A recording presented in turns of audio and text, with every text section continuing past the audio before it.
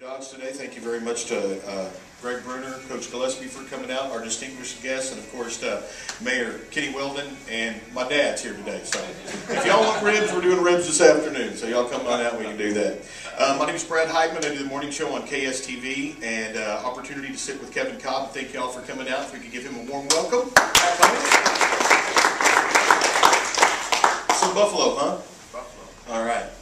Worked out a pretty sweet deal in March uh, with them. Did you have any trepidation when they were looking at you? Was that an agent thing that, that put you in Buffalo, or was it more about maybe you not liking the fit there in Arizona and wanting to change? How did that How did that transpire? Well, obviously, uh, Arizona released me. Right. and Brought in the new coaching regime, and so, uh, like I was explaining before to some of the guests, that it was the first time in my career I've actually gotten to choose where I wanted to go, which was a unique experience, It's like going back to leaving high school and going to college again, you know.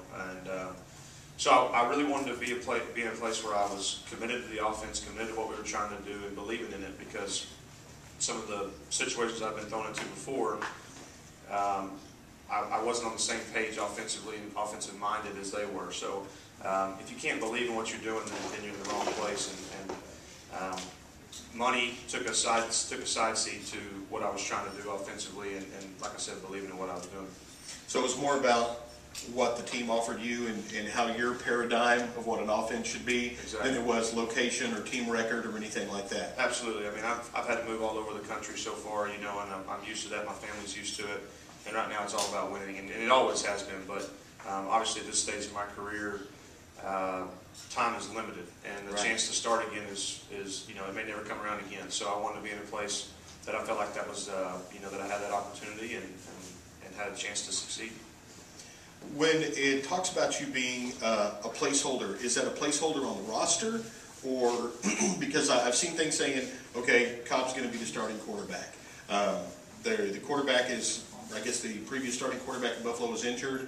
You're coming in, and is- does that mean that you're going to take a starting position? Or are, are you on the roster, and if things go right, then you're the starter? Could you explain that? Yeah, sure. Well, Ryan Fitzpatrick was the, was the quarterback last year. He was in a very uh, similar situation I, that I was. We both had six-year contracts, long-term contracts.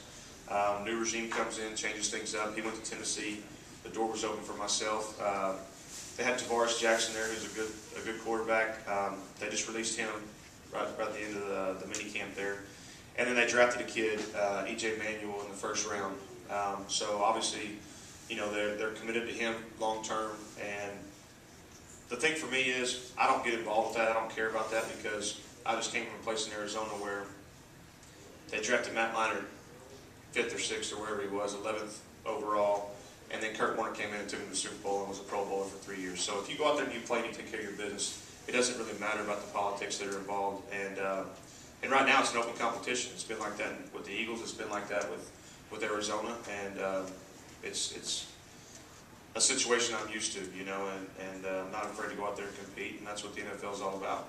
Does that take you back to almost the the high school side of it that people are competing for a position and the best guy who goes out there? Does that has that affected your mindset as a quarterback with everything that you've gone through? With what happened in Philadelphia, you get a concussion, Vic comes in, he gets hurt, you come back in, then you go to Arizona.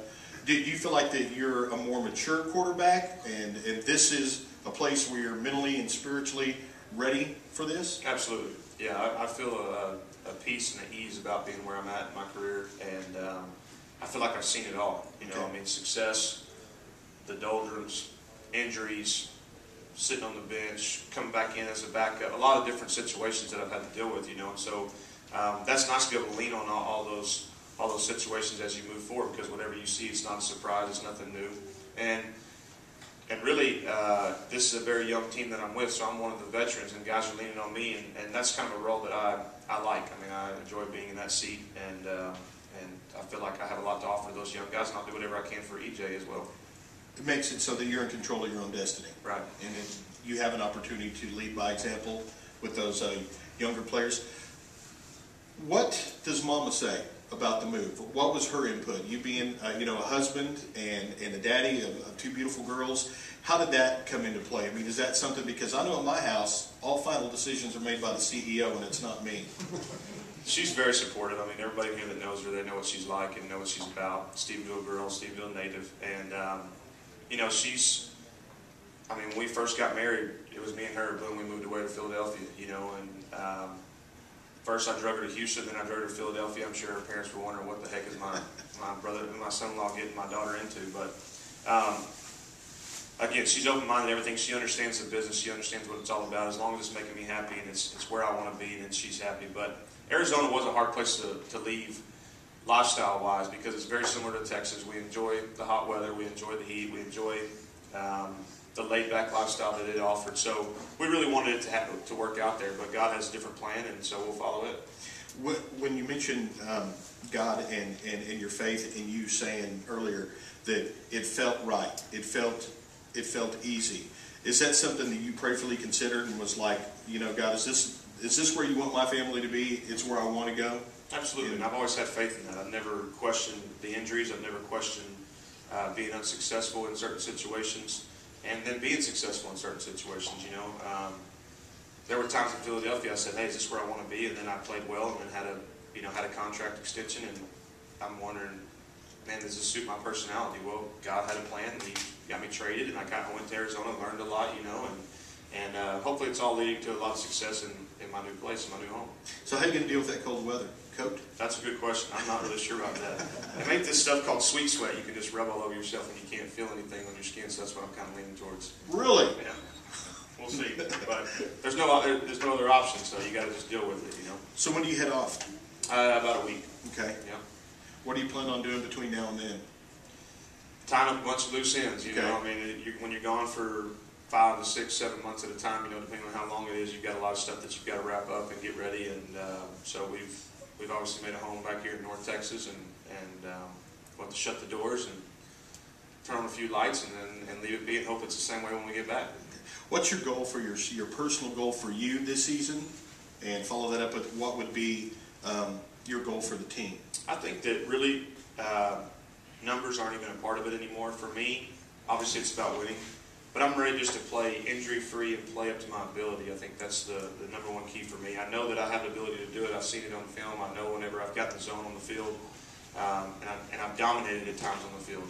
And um, so if I could just find that stretch where I'm consistently in the right mindset, confident, injury free, I know that the success will come. So um, for me, it's about just finding that groove and finding that, that mindset, like I said before, you know, and, uh, and I know the rest of it will follow.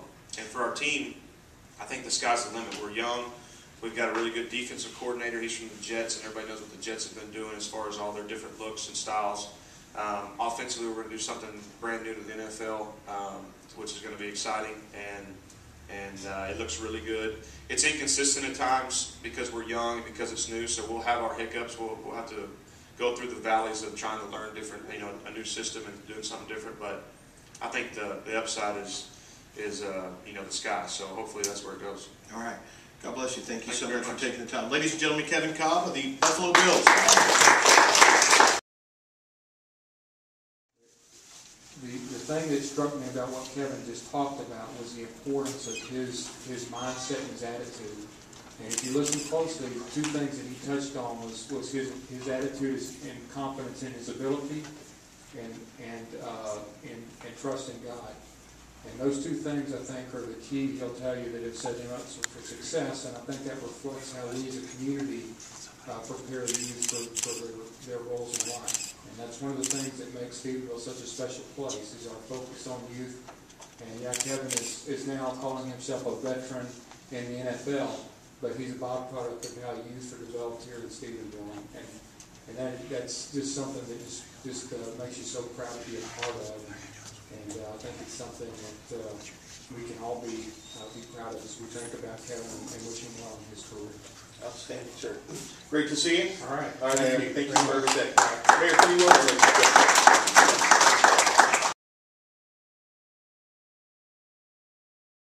Some quality time with the family? No doubt. All right, outstanding. Um, seven on seven wrapped up. A little, a little quicker than, than, than maybe you'd hoped, or, or how'd that work out?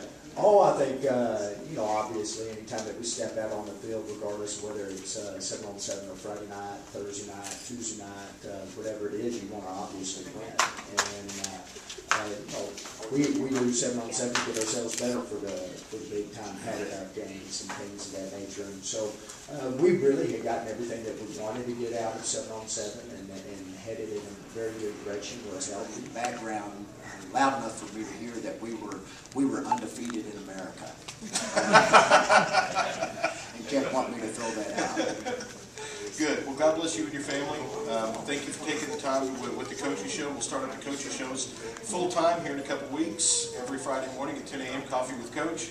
And uh, look forward to much success and some great health. And Looking uh, forward to it as well, and Thank certainly you, want to wish uh, Kevin all the, all the luck and health and, and everything. I'm gonna tell you, what, what you see with Kevin is what you get. I mean, I've, uh, I've been fortunate enough to have been here as a coach when he was playing, and, uh, can certainly call him a friend, and we keep up with each other. I know he's certainly interested in the Yellow Jackets and the wins every Friday night. We receive texts and calls and things of that nature. We're certainly interested in, in his success and, and stuff. But uh, he is certainly what you see is what you get. I mean, I've been uh, been visiting with him at the highest of highs and the, lowest of lows from the profession, and, and he's still the same guy. Character is certainly second to none, and so we we are certainly proud of him uh, here, the way he represents us and gives back to our community and to our youth. Well, I know that you're interested in wins and losses, but I know you as a godly man, that most importantly is that you're training our young men to be difference makers in their homes, to raise them as, you know, people talk about, we're not raising boys. That's exactly right. We're raising godly husbands and godly men Yes, to put back out into the world. No doubt. And thank you for being a positive influence on our kids, Coach. Thank you very much. All right, bud. Thank you very much. Ladies and gentlemen, please bless him. And now Rick said that we're, everybody gets to pick the Dodge or Jeep or Chrysler of your choice. And we're all gonna go on a little test drive. So Greg, I appreciate you. Uh, look forward to uh, talking about this experience Monday morning on the morning show with uh, my co-host Joanna. And hope everybody has a blessed weekend. Thank you.